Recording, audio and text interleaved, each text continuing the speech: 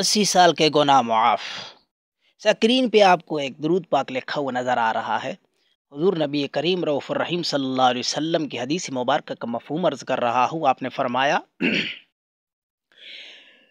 जो शख्स जुमा के दिन असर की नमाज़ के बाद ये दरूद पाक अस्सी मरतबा अपनी जगह पर बैठे हुए पढ़ लेता है, अल्लाह तबारक व उसके अस्सी साल के गुनाह मुआफ़ फरमाता है। तो आज रमदानुल मुबारक का पहला जुमा है। तो कोशिश करें असर की नमाज़ के बाद इस दरूद पाक का वजीफ़ा ज़रूर करें।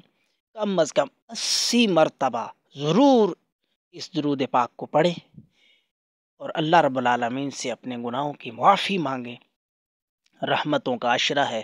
अल्लाह तबारक व ताली ज़रूर अपनी रहमत नाजिल फरमाएगा और हमारे गुनाहों को मुआफ़ फरमाएगा।